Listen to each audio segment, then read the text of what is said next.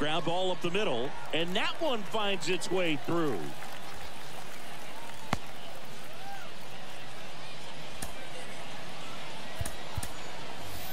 So now a pinch hitter, Joey Votto. A runner at first for him, nobody out.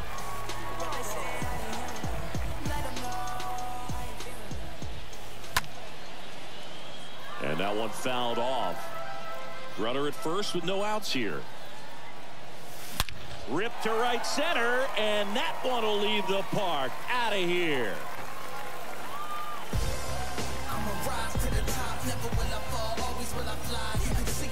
It's so tough to come in as a pinch hitter and have success. I mean, you really have to keep yourself locked into the game and ready at any time. So it's always impressive to me when someone jumps in there and hits it out. It's a huge lift for your ball club as well.